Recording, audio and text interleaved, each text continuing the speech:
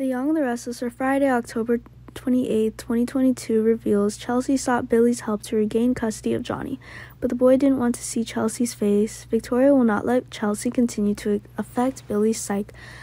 Billy will have a hard time facing Victoria to protect Chelsea's interests.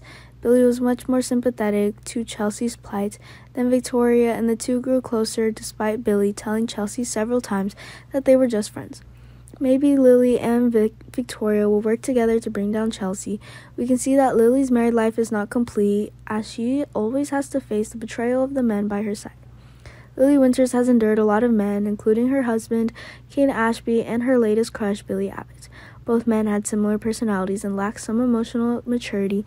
Maybe that's what Lily was attracted to, but she got fed up with that after a while and she became tired of Billy.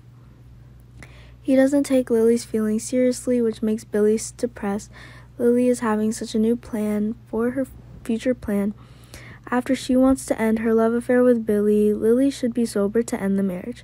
That does not bring her any happiness. What Lily needs to f- do is focus on business to regain control of the company from Nate. Next, Victoria and Adam may temporarily go to a truce because of intense conflicts. Here's the surprise, which Nikki is probably the happiest of because she doesn't want to see her children fight against each other.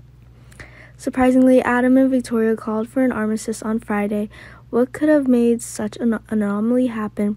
Last we heard, Adam was angry that Victoria wanted to fire Sally Spectra, just as angry as Nick Newman, who carried out the actual shooting.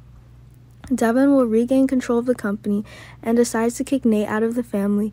He was still angry at Nate Hastings, and it seemed Devin was upset because he couldn't understand why Nate had changed so quickly. Devin has private conversations with Abby.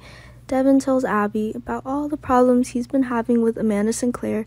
Stay tuned to the Young the Restless weekdays to see how these stories unfold.